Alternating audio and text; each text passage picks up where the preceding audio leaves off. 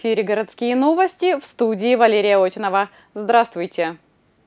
Последние полторы-две недели ленты новостных агентств переполнены тревожными сообщениями о том, что в любой момент может обостриться ситуация на линии разграничения.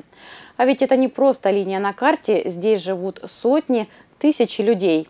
Вчера глава ДНР Денис Пушилин провел рабочее совещание с руководителями администрации городов и районов республики по вопросу оказания помощи жителям прифронтовых населенных пунктов. Перед нами остро стоит проблема жизнеобеспечения населенных пунктов, находящихся в прифронтовой зоне. А, люди уже пятый год фактически живут в условиях а, ежедневных боевых действий. Это касается целого ряда населенных пунктов. А, гуманитарная ситуация там критическая. Не хватает всего, лекарств, продуктов, нестабильно функционирует транспортная система, нет дорог. Между тем, там живут наши граждане, и государство должно заботиться об этих людях. Да, сегодня работает общественный штаб по прифронтовым районам. Они организовывают выездную торговлю, доставляют гуманитарные грузы, помогают людям выехать в тыловые районы, но эта работа недостаточна. Необходимо подключать городские и районные администрации. Началась зима, появились дополнительные проблемы с обогревом, с ликвидацией аварийных ситуаций. Есть вопросы по электричеству. Власти должны четко мониторить все потребности населения и максимально оперативно реагировать на все сигналы. Междугородние автобусы, следующие из Харциска в Донецк и обратно, с понедельника будут курсировать по новому расписанию. На прошлой неделе Министерство транспорта ДНР поставило перед харциским перевозчиком задачу продлить работу общественного транспорта на данной линии. Удалось договориться и о том, чтобы немного скорректировать маршрут следования автобуса по Харциску. В вечернее время автобус, следующий из Донецка в Харциск, до сих пор не заходил на Черемушки, что доставляло жителям одного из самых густонаселенных районов города определенные неудобства. Теперь этот вопрос можно считать закрытым. Со вчерашнего дня маршрут следования автобуса изменен с учетом пожеланий горожан. На выездном приеме первого замминистра транспорта, то есть были обращения людей по поводу видоизменить, а, небольшие сделать изменения маршрутов движения Харциз-Донецк. Ну, посоветовавшись с нашими перевозчиками, то есть принято, принято было решение видоизменить вечерние графики в плане того, что э, с 19 декабря вечернее время после 16.00 все автобусы, графики маршрута Харциз-Донецк будут следовать через микрорайон Черемушки. Это будут все графики, э, курсирующие с Донецка в Харциск. Кроме того, с начала следующей недели общественный транспорт, курсирующий в этом же направлении, начнет работать по новому расписанию.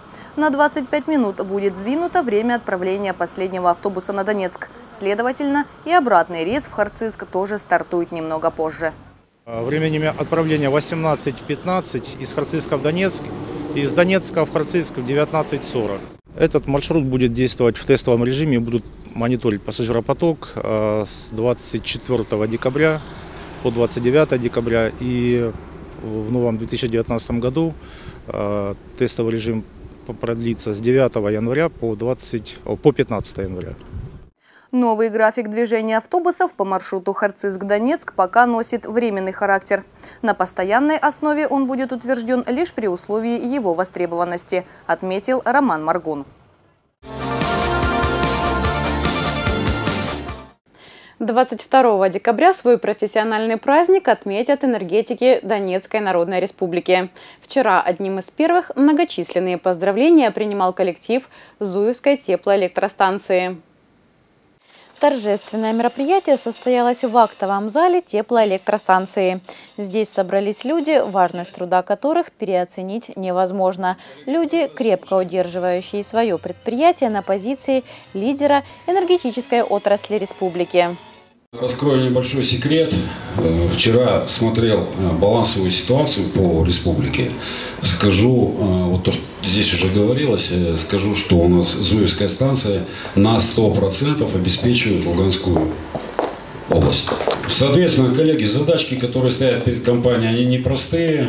Понимаем сложности, которые есть, но тем не менее те задачи, которые поставило руководство республики, мы будем выполнять. Для этого мы, собственно, и э, все работаем на этот результат.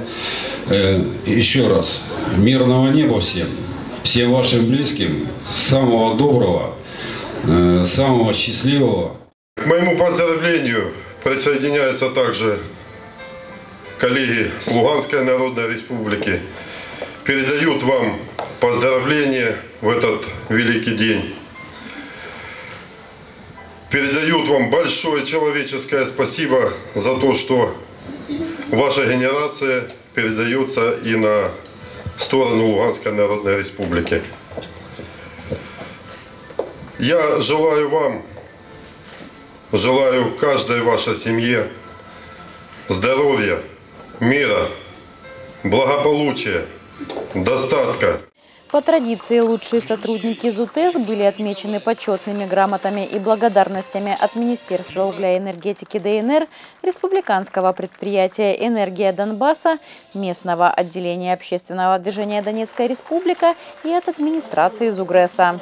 Особо отдельная благодарность тем сотрудникам, которые в 2014 году не покинули свои рабочие места, не остановили работу станции, работу энергоблока и продолжали стабильно снабжать энергетикой нашу республику. Им особо отдельная благодарность. Спасибо вам за это. Еще одна традиция предприятия – в свой профессиональный праздник подводить итоги года. Одно из последних достижений на Зуевской ТЭС – капитальный ремонт первого энергоблока, благодаря которому не только выросла эффективность и надежность теплоэлектростанции, но и в целом укрепилась энергобезопасность ДНР. Говорят, день энергетики – это, в принципе, время, когда уже подводим определенные итоги по году. Ставятся задачи на следующий год. Поэтому э, в свете задач, я хочу сказать, нас действительно э, много ждет очень э, работы. Я уверен, будет еще профессиональное свершение наше на предприятии, развитие предприятия.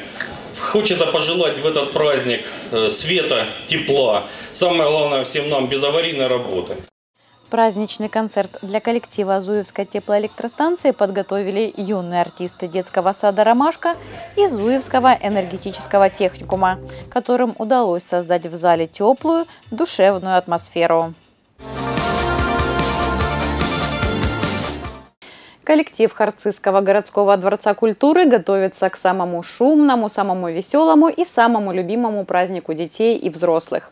Уже на этой неделе, 22 декабря, в ДК стартует череда новогодних утренников, а вечером в субботу зажгутся огни на главной городской елке. Тему продолжит Ольга Авилкина. Сегодня фойе городского дворца культуры не узнать. Вторую неделю его украшают, добавляя все новые и новые элементы новогоднего антуража. Всю эту красоту создают у нас две замечательных зал постановочной, постановочной части Елена Чернецкая и Наталья Ходаковская. Э, ну, мы их э, ласково называем девушки золотые ручки, потому что они все оформление делают на все праздники. Ну а к, новогодним, к новогодним праздникам это особая атмосфера. За все праздники новогодние проходит где-то около пяти тысяч э, детей, родителей, учителей. То есть это огромное количество, поэтому мы стараемся оформить так, чтобы были фотозоны, где можно было оставить фотографии на память. И, конечно, делаем театрализованное представление, которое будем показывать. В этом году фойе ДК сплошная фотозона. И все же специально для эффектных снимков заведующие постановочной частью смастерили сани Деда Мороза и уютный уголок с елкой и камином. Огромные шары-игрушки из папье-маше и снеговик, изготовленный тем же способом, знакомым многим еще с детства, приглашает на второй этаж, словно обещая, что на первом новогодняя красота в ДК не заканчивается. В этом году нижнее фойе сделано как э, фойе подарков, то есть вы обратили внимание, что вверху здесь есть у нас все подарочки, и внизу здесь в фотозонах подарочки, и по оформлению холла всего везде подарочки. Мы желаем всем харцизянам сделать новогодние подарки своим детям, своим членам семьи, и всех поздравляем с Новым годом.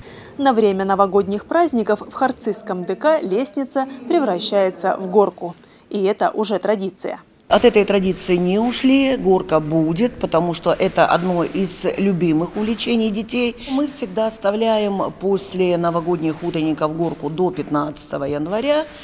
То есть можно потихонечку заходить, кататься. То есть снега, если не будет на улице, то у нас на горке можно покататься. Детективная история с участием сразу пяти свинок будет разыграна на детских утренниках.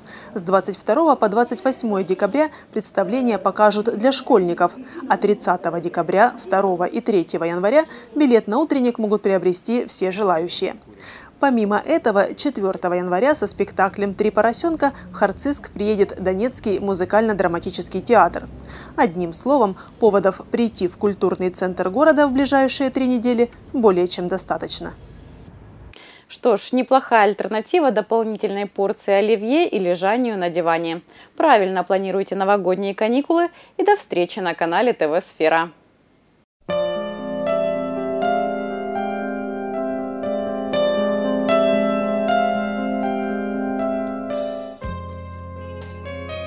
21 декабря 1971 года на торжественном заседании в Кремлевском дворце съездов, посвященном 50-летию СССР, Леонид Брежнев сказал «Ветер века, ветер истории своим могучим дыханием наполняет паруса корабля социализма, и корабль наш неудержимо идет все дальше, вперед, к сияющим горизонтам коммунизма».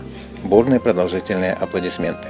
Еще 20 лет корабль социализма под кумачевыми парусами блуждал по морям, пытаясь достичь неуловимый сияющий горизонт, пока не наткнулся на рифы, заботливо сооруженные в Беловежской пуще помощниками капитана, которым не терпелось самим порулить.